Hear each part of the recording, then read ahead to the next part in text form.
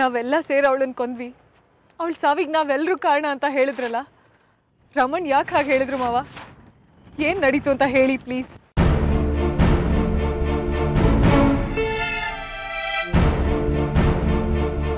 ತೀರ್ಕೊಂಡಿದ್ದಾಳೆ ಅಂದಮೇಲೆ ಮುಗಿತಲ್ವ ರಾಧ ಯಾಕೆ ಹೇಗೆ ಅನ್ನೋದನ್ನ ತಿಳ್ಕೊಂಡು ಏನು ಮಾಡ್ತೀಯ?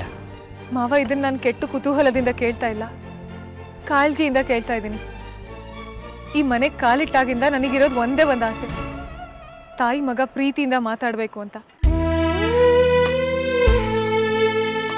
ಆದರೆ ಒಂದು ವಿಷಯ ನನಗೀಗ ಅರ್ಥ ಆಗಿದೆ. ಅವನಿ ಸಾವು ಇವರಿಬ್ರನ್ನು ದೂರ ಮಾಡಿದೆ. ಸಮುದ್ರದಷ್ಟು ದುಃಖ ಇದೆ. ಇವರಿಬ್ರು ನಡುವೆ ಸೇತುವೆ ಕಟ್ಟಕ್ಕೆ ಆಗಲ್ಲ ಅನ್ನಿಸ್ತಿದೆ. ಆ ಮಗನ ದುಃಖ, ತಾಯಿ ಸಂಕಟ ನೋಡ್ಕೊಂಡು ಸುಮ್ಮನೆ ಇರಕ್ಕೆ ಆಗ್ತಿಲ್ಲ ಮಾವ. ಕೆಲವೊಂದು ಸಲ ಸುಮ್ಮನೆ ಇರಬೇಕಾಗತ್ತೆ. ಇರೋದನ್ನು ಬಿಟ್ಟು ಇಲ್ಲದೆ ಇರೋದನ್ನು ಬಯಸೋದಕ್ಕೆ ಹೋಗಬಾರ್ದಮ್ಮ. ಈ ಹಠದಲ್ಲಿ ಇರೋದನ್ನು ಕಳ್ಕೊಂಬಿಡ್ತೀಯ. ಅದು ಹೇಗೆ ಸಾಧ್ಯ ಮಾವ? ಪ್ರಯತ್ನ ಪಡಬೇಕು, ಸೋಲ್ಬೇಕು. ಪ್ರಯತ್ನ ಪಡೋಕ್ಕಿಂತ ಮುಂಚೆನೆ ಸೋಲೊಪ್ಕೊಳಕ್ಕಾಗತ್ತಾ? ಈ ಮನೇಲಿ ನಡೀತಿರೋದು ಅದೇ. ಅತ್ತೆಗಿರೋದು ದೇಹದ ಕಾಯಿಲೆ ಅಲ್ಲ, ಮನ್ಸಿನ ಕಾಯಿಲೆ ಅಮ್ಮ, ಮಗ ಪ್ರತಿದಿನ ಕಣ್ಣೀರಿಡ್ತಾರೆ. ಅದನ್ನ ಎಲ್ಲರೂ ನೋಡ್ತಾರೆ. ಆದರೆ ಯಾರೂ ಸಮಾಧಾನ ಹೇಳಲ್ಲ. ನಾನು ಹೇಳ್ತಾನೆ ಇರ್ತೀನಿ. ಆಗಿದ್ದೆಲ್ಲ ಆಗೋಯ್ತು ಮರ್ತು ಬಿಡಿ ಅಂತ. ಪಾಪ ಅವ್ರ ಕೈಲಿ ಆಗ್ತಾ ಇಲ್ಲ. ನಾನು ಏನು ಮಾಡಲಿ? ಮರೆಯಕ್ಕಾಗಲ್ಲ ಅಂದ್ರೆ ಅದಕ್ಕೊಂದು ಕಾರಣ ಇರ್ಬೇಕಲ್ವಾ? ಏನದು?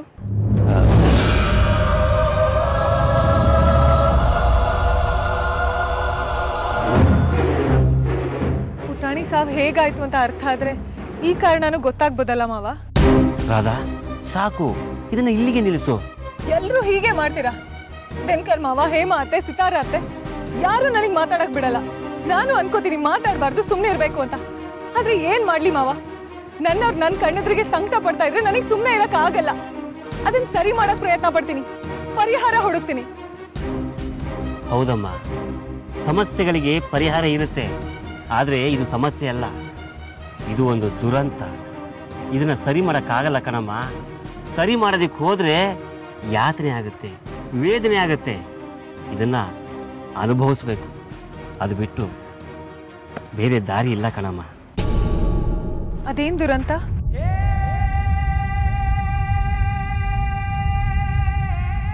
ನಡಿಬಾರ್ದು ನಡೆದು ಹೋಗಿದೆ. ಆ ಬ್ರಹ್ಮ ಬಂದರೂ ಅದನ್ನು ಸರಿ ಮಾಡೋದಕ್ಕಾಗಲ್ಲ. ನೀನೇನು ಮಾಡ್ತೀಯಮ್ಮ? ಆ ಮುದ್ದು ಮುಖದ ಮಗುಗೆ ದೇವರ ಆಯುಷ್ ಕೊಡಲಿಲ್ಲ. ನಾವೇನು ಮಾಡಬೇಕಾಗುತ್ತೆ?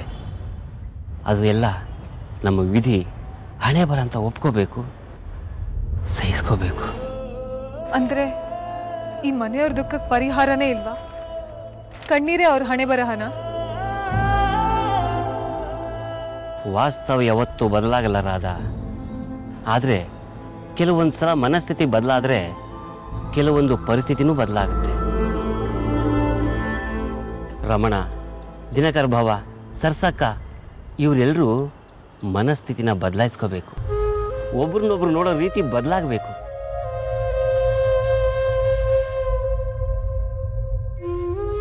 ನಮ್ಮ ರಮಣಿಗೆ ದಿನಕರ್ ಭಾವನ ಮೇಲೆ ಈಗಲೂ ತಪ್ಪು ತಿಳುವಳಿಕೆ ಇದೆ.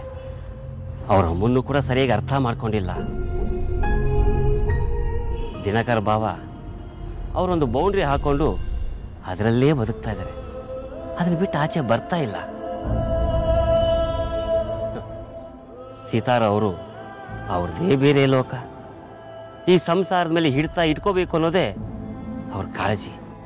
ಅಪ್ಪ ಒಂದ್ ನಿಮಿಷ. ಅಣ್ಣಂಗೂ ದಿನಕರ್ ಮಾವಂಗೂ ಜಗಳ ಆಗಿತ್ತಾ?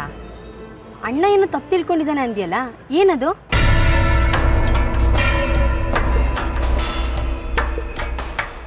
ಮಾವ ರಾಜಿ ಮಾಡ್ಕೊಳಕ್ ನೋಡ್ತಾರೆ. ಆದ್ರೆ ರಮಣ್ ಅವ್ರ ಮುಖ ಕೂಡ ನೋಡಲ್ಲ.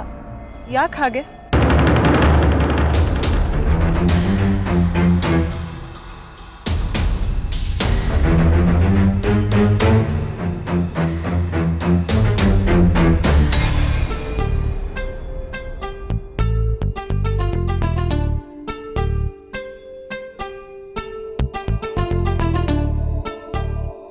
ಎಂಟತ್ತು ವರ್ಷದಿಂದ ನನ್ನ ಜೊತೆಗಿದೆಯಾ? ನಿನ್ನ ನಾನು ಏನು ಅಂತ ಗೊತ್ತಿಲ್ವಾ ಗಂಗಾ? ಇಷ್ಟು ವರ್ಷದಲ್ಲಿ ನಾನು ಇನ್ಮೇಲೆ ಯಾವತ್ತಾದರೂ ರೇಗಿದ್ದೀನಾ? ಇವತ್ತು ಸಂಕಟ ತಡ್ಕೊಳಕ್ಕಾಗಲಿಲ್ಲ ಕಣೆ. ಬೈದ್ಬಿಟ್ಟೆ. ತಪ್ಪಾಯ್ತು. ಬೇಜಾರು ಮಾಡ್ಕೋಬೇಡ. ಅಮ್ಮೋರೆ ನೀವು ನಂಗೆ ತಪ್ಪಾಯ್ತು ಅನ್ನೋದಾ? ನಿಮ್ಮ ಅನ್ನ ತಿನ್ಕೊಂಡು ಬೆಳೀತಾರೋಳು ನಾನು. ಬಿಡ್ತು ಅನ್ನಿ. ನಿಮ್ಮ ಕಾಲಿಗೆ ಬಿದ್ದು ನಾನು ಕ್ಷಮೆ ಕೇಳಬೇಕು. ಹಾಗೆಲ್ಲ ಅನ್ಬೇಡ ಗಂಗಾ. ನೀನು ಈ ಮನೆಗೆ ಸೇರಿದವಳೆ. ನಿಂಗೆ ಅನ್ನ ಕೊಡೋದಕ್ಕೆ ನಾವ್ಯಾರು? ಅದು ನಿನ್ನ ಸಂಪಾದನೆ ಕಣಮ್ಮ. ಆ ಪುಟಾಣಿ ಬಗ್ಗೆ ನಿಮ್ಗೆ ಯಾರಿಗೂ ಏನೂ ಗೊತ್ತಿಲ್ಲ. ತಿಳಿದೆ ತಪ್ಪು ಮಾಡ್ತಿದ್ರಿ. ಆ ಸಂಕಟ ತಡ್ಕೊಳ್ಳೋದಕ್ಕಾಗದೆ ಬೈದ್ಬಿಟ್ಟೆ. ಇಷ್ಟು ವರ್ಷ ನಿಮ್ಮ ಜೊತೆನಲ್ಲಿದ್ದು ನಿಮ್ಮ ಮನಸ್ಸೇ ಅರ್ಥ ಮಾಡ್ಕೊಂಡಿಲ್ಲ ನಾನು. ನಾನು ಎಂಥ ದಡ್ಡಿ ಅನ್ನಿಸ್ಬಿಡ್ತು. ನಿಮ್ಗೆ ಏನಾದ್ರು ನೋವು ಮಾಡಿದ್ರೆ ಆ ದೇವ್ರು ಕೂಡ ಮೆಚ್ಚಕ್ಕಿಲ್ಲ. ನನ್ನಿಂದಾಗಿ ಇನ್ನೊಂದ್ಸಲ ನಿಮ್ಮ ಕಣ್ಣಲ್ಲಿ ನೀರು ಬಂದರೆ ನಾನು ಈ ಮನೆಯಲ್ಲಿ ಇರಲ್ಲ ಹೊಟ್ಟೋಗ್ಬಿಡ್ತೀನಿ ಗಂಗಾ ಹಾಗೆಲ್ಲ ಮಾತಾಡಬಾರ್ದು. ನೀನು ನಮ್ಮನೆಯವಳೆ ನಾನಿನ್ನ ಯಾವತ್ತೂ ಕಳ್ಸಲ್ಲ. ಗೊತ್ತಾಯ್ತಾ? ಅಯ್ಯೋ ಮಾತ್ಗೇಳ್ದೆ ನಿಮ್ಮನ್ನ ಬಿಟ್ಟು ನನ್ಗಿರಕ್ಕಾಗತ್ತಾ? ನೀ ನನ್ನ ಸ್ವಂತ ತಾಯಿಗಿಂತ ಹೆಚ್ಚು. ಇಷ್ಟು ಒಳ್ಳೆ ಸಂಸಾರ ಹುಡ್ಕೊಂಡೋದ್ರೂ ಸಿಗಲ್ಲ ನನಗೆ. ಇಲ್ಲ ಗಂಗಾ. ಈ ಸಂಸಾರ ಅಷ್ಟೊಂದು ಚೆನ್ನಾಗಿಲ್ಲ. ಕಣ್ಣಿ ಕಾಣೋ ಹಾಗೆ ಯಾರೂ ಇಲ್ಲ. ಒಂದು ಒಳ್ಳೆ ಸಂಸಾರ ಕಟ್ಟಬೇಕು ಅನ್ನೋ ಆಸೆ ಇತ್ತು. ಆದರೆ ಯಾವತ್ತೋ ಕಳ್ಕೊಂಡ್ಬಿಟ್ಟೆ. ಮತ್ತೆ ಆ ದಿನಗಳು ನನಗೆ ಸಿಗಲ್ಲ. ಆ ದಿನಗಳು ಅಂದರೆ?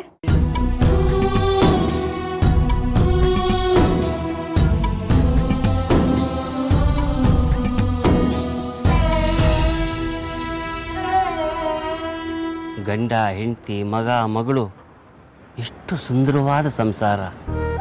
ಸುಧನ್ವ ಭಾವ ಇದ್ದಾಗ ಈ ಮನೆ ಸ್ವರ್ಗ ಆಗಿತ್ತು.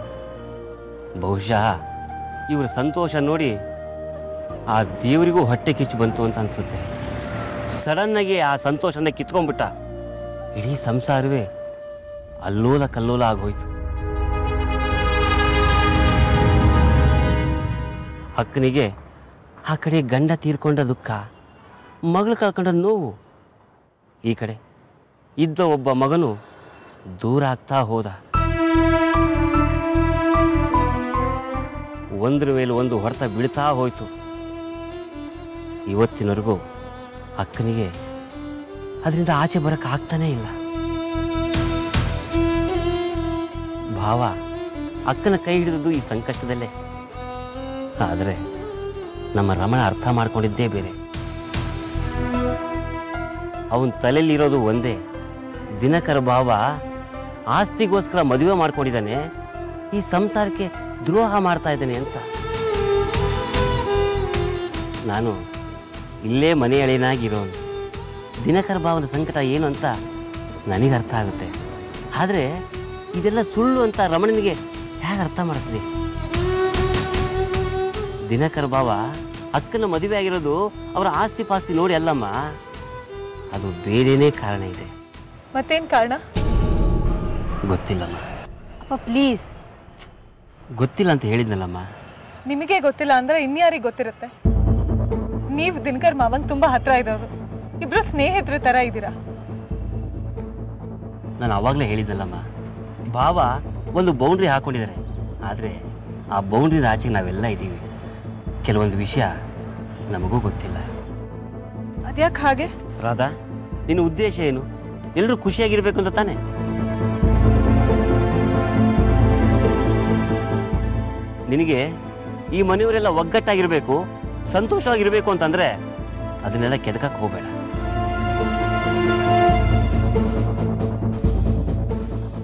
ಒಂದು ನೆನಪಿಟ್ಕೋ, ಸಂಬಂಧಗಳು ಎಷ್ಟೇ ಹತ್ತಿರ ಇದ್ರೂ ಕೂಡ ಒಂದು ಸಣ್ಣ ಅಂತರ ಇರಬೇಕು. ಉಸಿರಾಡುವಷ್ಟು ಗ್ಯಾಪ್ ಇರಬೇಕು. ಅದನ್ನೇ ಪ್ರೈವಸಿ ಅಂತ ಹೇಳೋದು.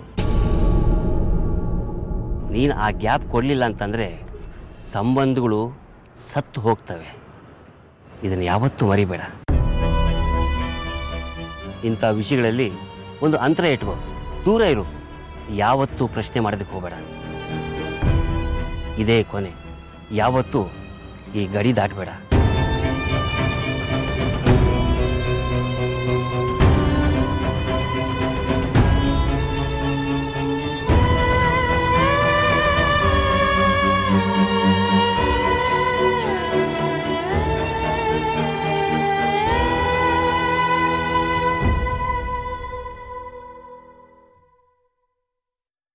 ಅದೊಂದು ಬೇರೆನೇ ಲೋಕ.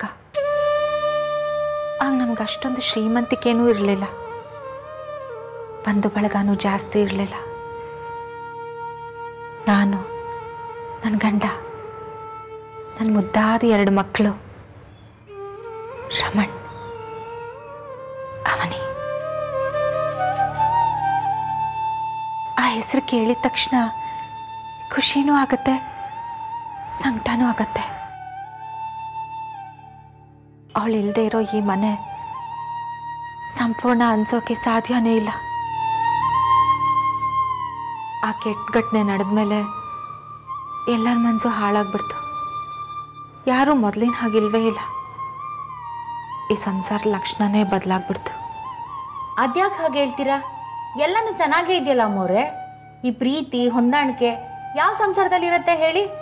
ಹನ್ನೊಂದು ಜನಕ್ಕೆ ಹನ್ನೊಂದು ಜನನೂ ಒಳ್ಳೆಯವರು. ಎಲ್ಲರೂ ಒಳ್ಳೆಯವರೇ. ಯಾರು ಕೆಟ್ಟವರು ಅಂತ ಹೇಳ್ತಿಲ್ಲ. ಆದರೆ ಎಲ್ಲರ ನಡುವೆ ಒಂದು ಗೋಡೆ ಇದೆ, ಒಂದು ಅಂತರ ಇದೆ. ಕಣ್ಣಲ್ಲಿ ಕಣ್ಣಿಟ್ಟು ಯಾರು ಮುಕ್ತವಾಗಿ ಮಾತಾಡಲ್ಲ. ಇಷ್ಟೇ ತಮಾಷೆ ಮಾಡ್ತಿದ್ರು ಅಲ್ಲೊಂದು ನೋವಿದ್ದೇ ಇರುತ್ತೆ. ಇಲ್ಲ ಮೊರೆ ನೀವು ಯಾರ ಬಗ್ಗೆ ಹೇಳ್ತಾ ಇದ್ದೀರೋ ಗೊತ್ತಿಲ್ಲ. ಆದರೆ ಈ ಮನೇಲಿ ಒಬ್ಬರು ಮಾತ್ರ ನೀವು ಹೇಳೋ ಥರ ಇಲ್ಲ. ಅವ್ರ ಪ್ರೀತಿ, ಅವ್ರ ನಗು ಯಾವಾಗಲೂ ಎಲ್ಲರ ಜೊತೆನೂ ಒಂದೇ ಥರ ಇರತ್ತೆ. ಯಾರ್ ಗಂಗಾ ಅದು? ನಿಮ್ಮ ಸೊಸೆ ರಾಧಕ್ಕವರು. ನಿಮ್ಗೇನೇನು ಆತಂಕ ಇದೆಯೋ ಅದನ್ನೆಲ್ಲ ಅವ್ರು ಬಗೆಹರಿಸ್ತಾರೆ. ನಿಮ್ಮ ಆಸೆಗಳನ್ನ ಕನ್ಸುಗಳನ್ನ ಎಲ್ಲನೂ ಅವ್ರ ಹತ್ರ ಹೇಳ್ಕೊಳ್ಳಿ. ಅವ್ರು ಅದನ್ನೆಲ್ಲ ನೆರವೇರಿಸ್ತಾರೆ. ನಿಜ ಗಂಗಾ. ಈ ಕೆಲಸ ಅವಳಿಂದಾನೇ ಆಗಬೇಕು. ಈ ಸಂಸಾರ ಸಂಸಾರ ಅಂತ ಅನ್ನಿಸ್ಕೋಬೇಕು ಅಂದರೆ ಅದು ಅವಳಿಂದ ಮಾತ್ರನೇ. ನನಗೂ ಆಸೆ ಇದೆ. ಆದರೆ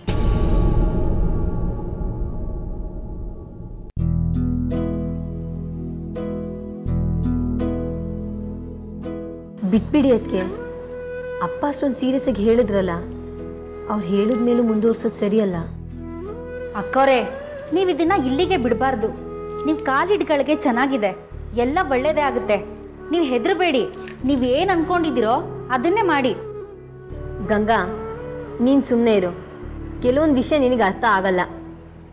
ಅಕ್ಕೋರೇನಾದರೂ ಏನಾದರೂ ಕೈ ಬಿಟ್ರೆ ಅಷ್ಟೇ. ಸರ್ಸಮ್ನವ್ರು ಚೆನ್ನಾಗಿರಲ್ಲ. ಹಾಸಿಗೆ ಹಿಡಿದು ಬಿಡ್ತಾರೆ ಯಾಕೆ?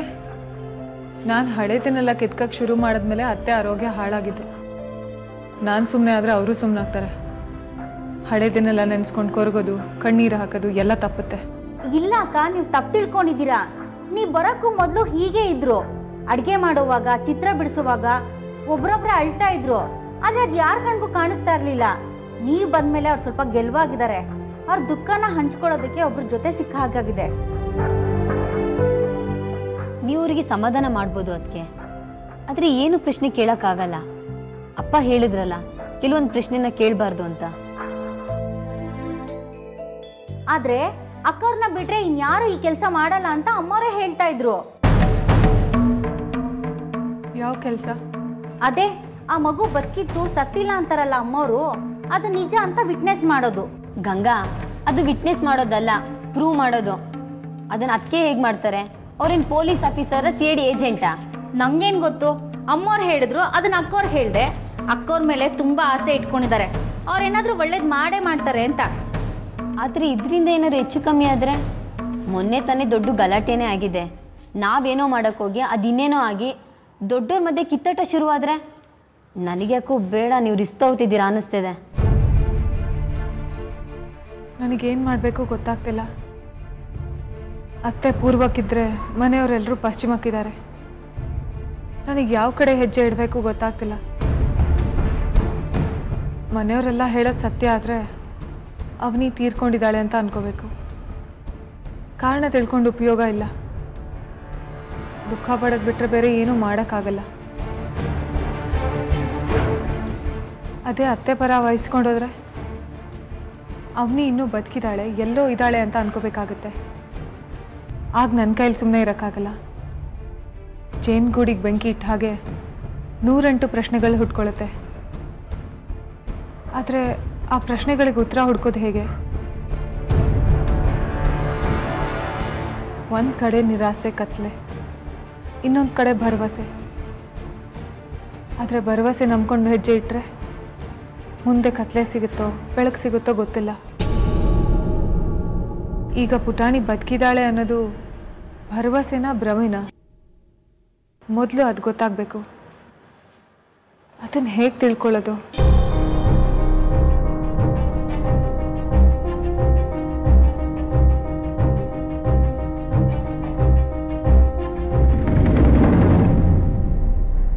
ನಾನು ಇನ್ನು ಓಕೆ ಮಾಡಲ್ಲ. ಇಟ್ಸ್ ನಾಟ್ ಓಕೆ ಎಲ್ಲದಕ್ಕೂ ಬಿಲ್ ಬೇಕು ಡೀಟೇಲ್ಸ್ ಬೇಕು. ಟ್ರಾನ್ಸ್ಪರೆನ್ಸಿ ಇರಬೇಕು. ನೀವು ತಗೊಳ್ಳೋ ಸಂಬಳ ಆಕಾಶದಿಂದ ಉದ್ರಲ್ಲ. ನಿಮ್ಮ ಶ್ರಮದಿಂದ ಸಿಗೋದು. ಕಂಪ್ನಿಗೆ ಮೋಸ ಮಾಡಿ ನೀವು ಉದ್ಧಾರ ಆಗಲ್ಲ. ತಿಳ್ಕೊಳ್ಳಿ ಸರ್ ಅವ್ರು ಮೋಸ ಮಾಡಿಲ್ಲ. ಬಿಲ್ ಕೊಡ್ತಾರೆ. ಫಸ್ಟ್ ಹೋಗಿ ಕರೆಕ್ಟ್ ಮಾಡ್ಕೊ ಬನ್ನಿ. ಪ್ಲೀಸ್ ಗೋ ಸುಮೇತ್ ಎಲ್ಲ ಎಂಪ್ಲಾಯೀಸ್ಗೂ ನೋಟಿಸ್ ಕಳಿಸಿ. ಅವ್ರು ಏನು ಮಾಡ್ತಾ ಇದ್ದಾರೆ ಏನು ಕೆಲಸ ಆಗಿದೆ ಅಂತ ನಂಗೆಲ್ಲ ಅಪ್ಡೇಟ್ ಆಗಬೇಕು. ಸರ್ ಕೋಪ ಮಾಡ್ಕೋಬೇಡಿ. ಯಾರೋ ನಮಗೆ ಮೋಸ ಮಾಡ್ತಿದ್ದಾರೆ ನಿಜ. ಹಾಗಂತ ಎಲ್ಲರನ್ನು ಅದೇ ದೃಷ್ಟಿಯಲ್ಲಿ ನೋಡಬೇಡಿ. ಇಡೀ ಕಂಪ್ನಿ ವಾತಾವರಣನೇ ಹಾಳಾಗತ್ತೆ ಸರ್. ಯಾರು ತಪ್ಪು ಮಾಡಿದಾರೋ ಅವ್ರಿಗೆ ಶಿಕ್ಷೆ ಕೊಡಿ. ಅವ್ರ ಮೇಲಿರೋ ಸಿಟ್ಟಿಗೆ ಎಲ್ಲರನ್ನು ಬೈಬೇಡಿ ಸರ್. ಸಾರಿ ಸುಮೇತ್ ಅಪ್ಪ ಇದ್ದಾಗ ಕಂಪ್ನಿ ಒಂದು ಫ್ಯಾಮಿಲಿ ಥರ ಇತ್ತು. ಎಲ್ರೂ ಎಷ್ಟು ಪ್ರೀತಿಯಿಂದ ನೋಡ್ತಾ ಇದ್ರು. ಬಟ್ ಈಗ ಇವಾಗಲೂ ಇದೊಂದು ಫ್ಯಾಮಿಲಿ ಥರನೇ ಇದೆ ಸರ್. ಯಾರೋ ಒಬ್ಬ ದಾರಿ ತಪ್ಪಿದ್ದಾನೆ ಅದು ಯಾರೋ ಅಂತ ಇವತ್ತು ಗೊತ್ತಾಗತ್ತೆ ಬಿಡಿ. ಅವ್ನು ಹಿಡಿದು ಅವ್ನಿಗೇನು ಶಿಕ್ಷೆ ಕೊಡಬೇಕೋ ಕೊಡಿ. ಆವಾಗ ಉಳಿದವರು ಪಾಠ ಕಲಿತಾರೆ. ಹೊರಡೋದಾ? ಲೇಟ್ ಆಗ್ತಾ ಇದೆಯಾ? ಇವಾಗ ಹೊರಟ್ರೆ ಕರೆಕ್ಟಾಗಿರುತ್ತೆ ಸರ್. ಟೆನ್ ತರ್ಟಿಗೆ ಅಪಾಯಿಂಟ್ಮೆಂಟ್ ಇರೋದು. ಅವರಲ್ಲಿ ಇರೋವಾಗಲೇ ನಾವು ಹೋದರೆ ಅವರನ್ನು ರೆಡ್ ಹ್ಯಾಂಡಾಗಿ ಹಿಡಿಬೋದು. So what be waiting for let's go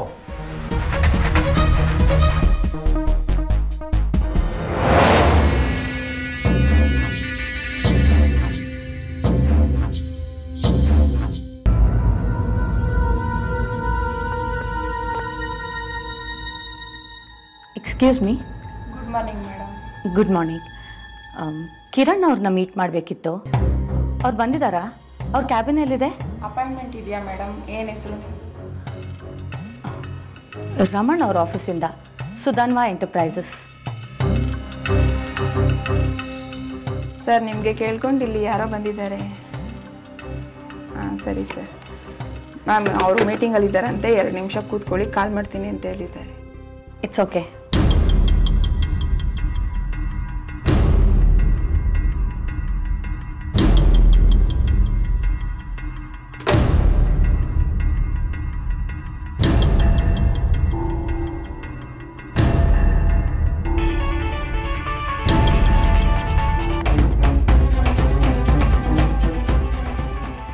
Shekhar ಇವನು ಯಾಕೆ ಫೋನ್ ಮಾಡ್ತಾ ಇದ್ದಾನೆ.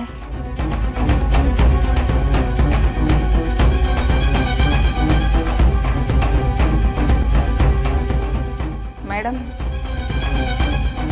ಮ್ಯಾಮ್ ನೀವೀಗ ಹೋಗ್ಬೋದು. First right cabin number three.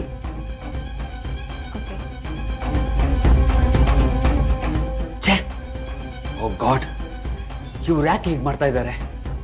ಇವತ್ತು ನಿಜವಾಗ್ಲೂ ಒಂದು ಗಂಡಾಂತರ ಇದೆ. ಎಸ್ಕೇಪ್ ಆಗಕ್ಕೆ ಚಾನ್ಸೇ ಇಲ್ಲ.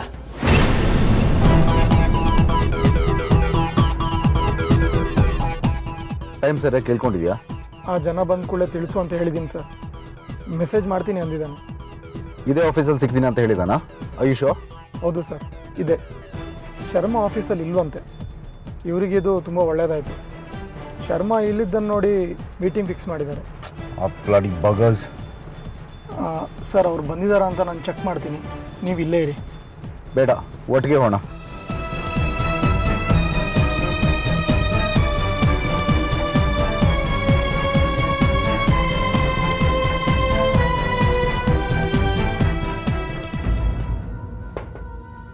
yes come in.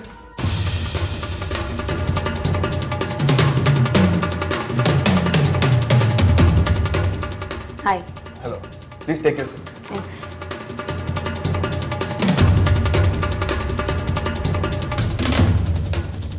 Sir ಆಫೀಸಿಂದ ಬಂದಿದ್ದೀರಾ? ಹ್ಞೂ ಇದೇ ಮೊದಲನೇ ಸಲ ನಮ್ಮ ಪ್ರಾಡಕ್ಟ್ ಬಗ್ಗೆ ಕಂಪ್ಲೇಂಟ್ ಬಂದಿರೋದು. ಅದು ನಿಮ್ಮ ಕಡೆಯಿಂದ. ಸೊ ಇದ್ರ ಬಗ್ಗೆ ಪರ್ಸ್ನಲ್ ಆಗಿ ವಿಚಾರಿಸೋಣ ಅಂತ ಬಂದೆ. ಆ ಮೆಟಲ್ ಕಾರ್ಗಳಿಗೆ ನೀವು ಬಳಸಿರೋ ಪೇಂಟ್ ಕ್ವಾಲಿಟಿ ಸರಿ ಇಲ್ಲ. ಹೆವಿ ಕೆಮಿಕಲ್ಸ್ ಇದ್ದಾವೆ ಸೊ ಅದ್ರ ಬಗ್ಗೆ ಕೆಲವು ಕ್ಲೈಂಟ್ಸ್ ಹಾಗೂ ಪೇರೆಂಟ್ಸ್ ಕಂಪ್ಲೇಂಟ್ ಮಾಡಿದ್ದಾರೆ. ಸೊ ನಿಮ್ಮ ಪ್ರಾಡಕ್ಟ್ನ ನಾವು ಬ್ಲ್ಯಾಕ್ ಲಿಸ್ಟ್ ಮಾಡಿದ್ದೀವಿ. ಇದೇ ಪ್ರಾಡಕ್ಟ್ನ ಹೋದ ವರ್ಷ ನಾವು ನಿಮಗೆ ಸಪ್ಲೈ ಮಾಡಿದ್ದು. ಅದಕ್ಕೆ ಹಿಂದಿನ ವರ್ಷನೂ ಇದೇ ಕ್ವಾಲಿಟಿ ನಾವು ನಿಮಗೆ ಕೊಟ್ಟಿದ್ದು. ಆಗ ಯಾಕೆ ಕಂಪ್ಲೇಂಟ್ ಬರಲಿಲ್ಲ? ಇಲ್ಲಿ ತನಕ ಯಾವ ಕ್ಲೈಂಟ್ಸ್ ಕೂಡ ನಮಗೆ ಕಂಪ್ಲೇಂಟ್ ಮಾಡಿರಲಿಲ್ಲ. ಆಲ್ ರೈಟ್ ಈಗ ಕಂಪ್ಲೇಂಟ್ ವಿಷಯ ಬಿಡಿ. ಕ್ವಾಲಿಟಿ ಬಗ್ಗೆನೂ ಕೇಳಬೇಡಿ. ಅದನ್ನು ನಾನು ನೋಡ್ಕೊಳ್ತೀನಿ. ಸದ್ಯಕ್ಕೆ ಕೇಸ್ ಕ್ಲೋಸ್ ಮಾಡಬೇಕು ಅಂದರೆ ಪರಿಹಾರ ಏನು ಅಂತ ಹೇಳಿ. ಅದೆಲ್ಲ ಗೊತ್ತಿದೆ ಬಂದಿದ್ದೀರಾ ಅಂದ್ಕೊಂಡೆ ಚರ್ಚೆಗೆಲ್ಲ ಇಲ್ಲಿ ಅವಕಾಶ ಇಲ್ಲ. ನಾನು ಆಲ್ರೆಡಿ ನಿಮ್ಮವ್ರ ಹತ್ರ ಮಾತಾಡಿದ್ದೀನಿ. ಅದಕ್ಕಿಂತ ಒಂದು ನಯ ಪೈಸೆ ಕೂಡ ಕಡಿಮೆ ಆಗಲ್ಲ. ಐದು ಪೈಸಾನು ಚೌಕಾಸಿ ಮಾಡಲ್ಲ. ಕೇಳಿದ್ದಕ್ಕಿಂತ ಜಾಸ್ತಿ ಕೊಡ್ತೀನಿ ಹೊರತು ಕಡಿಮೆ ಕೊಡಲ್ಲ.